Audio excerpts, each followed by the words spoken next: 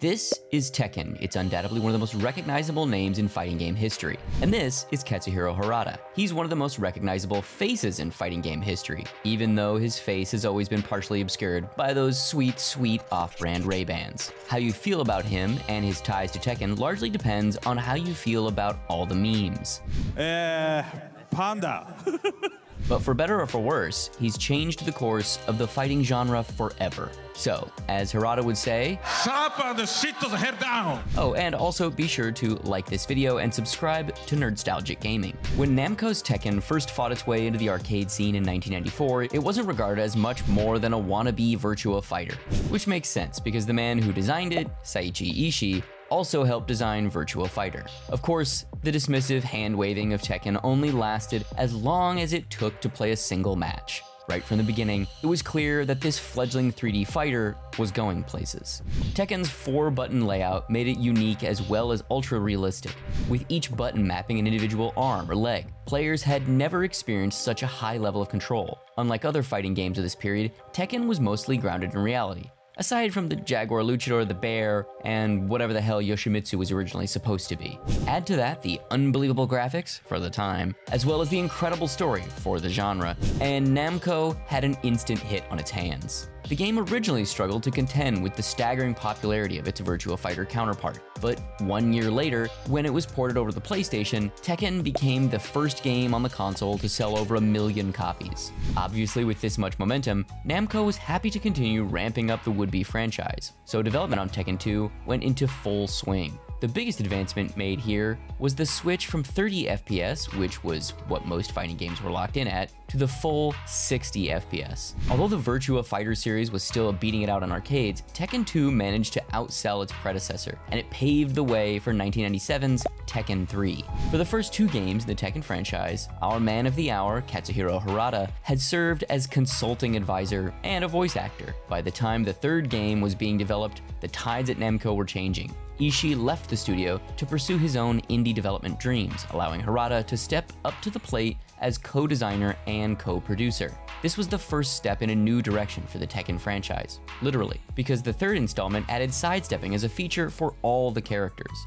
The ability to move in three-dimensional space wasn't an entirely unheard of idea for fighting games. In fact, two characters in Tekken 2 were able to do it, but it had never been done to the level of success that Namco achieved in Tekken 3. Compounded with new tech roll, this made for an entirely original experience, one that was dynamic, tactical, and refreshingly challenging all words fans would soon come to use about Harada's personality. Don't ask me what. And one year after its release, Tekken 3 had not only become the best-selling and best-reviewed Tekken game of all time, but it finally beat out Virtua Fighter in terms of sales. It took only one year for Harada and Namco to produce yet another Tekken title, 1999's Tag Tournament, which heavily featured tag team battles and was a spin-off from the main series. Though it was praised for its technical quality holdover from previous installments, Tag Tournament did very little in the name of progress. Plenty of people still bought the console version of the game and played it in arcades, but its true benefit was the time it afforded Namco to focus on the next proper installment, which is good,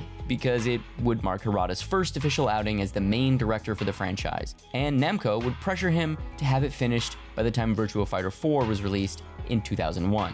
It succeeded, but not without a few scrapes along the way. Like Tekken 3, Tekken 4 was aiming to take the franchise in a bold new direction. Unlike Tekken 3, some people really hated it. While some complained about the smaller roster and the strange character designs, the biggest offender was the actual gameplay. Tekken 4 saw a massive overhaul on practically every front of its gameplay experience. Several maps included uneven terrain, making it frustratingly difficult to land hits on your opponent. Character balancing went out the window. Sidestepping was smoothed out to feel more like Namco's Soul Calibur series, and the arenas were no longer infinite. Instead, they had walls to slam people into. These changes brought on by Harada annoyed longtime fans, and today, Tekken 4 is still seen by many as the weakest game in the main franchise. Harada had been working on Tekken since the beginning. Maybe he was a little too overly imaginative when it came to reinvigorating the game, but he was ambitious, driven, and he understood what made Tekken special on a fundamental level. He proved that with 2004's Tekken 5, which is widely regarded as the beginning of the modern Tekken era. It's also regarded as the time Harada's parents were the most disappointed with him, as he had kept his job secret for close to 10 years. But the disapproval of his parents was a small price to pay for such a stellar title. Systems were reworked and removed, and the crush system was added. Uneven terrain was erased from the series, but the walls stayed and were polished. There's still a feature of the series today and the one most fans have really come to enjoy. New characters were brought in, and small gameplay tweaks meant 5 felt faster and more satisfying than before. Once again, Tekken was a massive success, both critically and financially, cementing Harada as a solid choice for the head of the franchise. Until Tekken 6, that is, when fans found themselves disappointed with the lack of innovation and stale story. And then, when community morale was at an all-time low, Tekken Tag Tournament 2 was released to absolutely abysmal sales and nearly took the franchise out for good. Now, you may have noticed that the series' history hasn't had a whole lot of Harada's antics in it so far. Considering the developer is who he is, this probably seems strange. But you have to remember that Harada and Namco were working diligently with their heads down to churn out games as quickly as possible. And this was the 1990s and the early 2000s. Individual devs, especially from infamously reclusive Japanese studios, weren't exactly making themselves known to the larger gaming public. Maybe the odd interview, blog post, or magazine write-up would reveal some level of personality, but nothing to the extreme levels that we would see from Harada and other similar personalities in the coming years. So what changed? The answer is short the internet. Harada found a great deal of popularity on Twitter in the early days of the app, where he would say things like, oh, oh no, let's make sure we blur that one out. Okay, so Harada was always a little bit of a, um, let's say, uh, rough around the edges type of guy, and he's never really had a problem matching the antagonistic energy of fans online. He very quickly made a name for himself as a developer who wasn't going to put up with the abuse. In fact, he was going to dish out his own. Some fans loved this. There was a real person attached to the franchise, one who was aggressive and authentic and maybe a little bitter considering how the Tekken franchise was performing in the 2010s. He became a meme at lightning speed and a source of entertainment for fans and critics alike. Essentially, he acted as the promotion for Tekken in a time when nobody was even sure it was going to return. Though we don't know the specifics, we do know that Harada fought to keep Tekken going and that Bandai Namco did eventually relent, as they were eyeing the esports scene pretty heavily. So began the road to Tekken 7. If 5 was the beginning of modern Tekken, 7 was the beginning of the modern Harada. While promoting the game before its release, Harada's online persona became much more intense. He turned up the trolling to 11 and fully leaned into his role as the face of the franchise. But he wasn't just pushing the game in the public eye. He was also working behind the scenes to refocus the series on 1v1 battles and honing the new mechanics.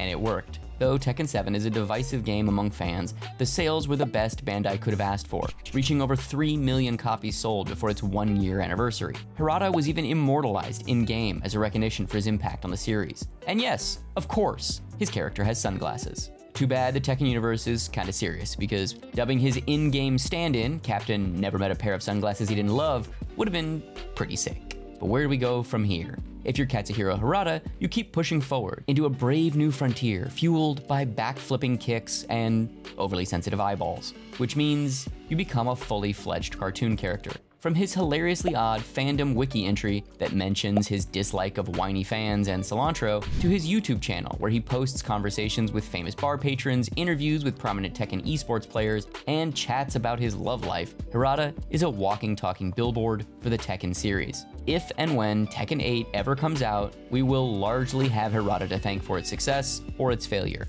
both because of his role as a marketing ploy and his actual role as the franchise's director. Whether you enjoy the character he's become or not, Harada is just as much a part of Tekken as Kazuya, Nina, and King are. The franchise sits heavily on his shoulders, and he's one of the driving creative forces behind its most prominent innovations. Though his methods might be disagreeable to some, and his decisions can often be questionable, you've got to respect his dedication, not just to the bit, but to the franchise he's poured nearly 30 years of his life into. And that's all we have today. Thanks for watching this video all the way to the end. If you liked what you saw, please be sure to subscribe to Nerdstalgic Gaming and hit the thumbs up button. And while you're at it, let us know in the comments below. Do you have faith in Harada, or would you rather have him sit down and shut the hell up?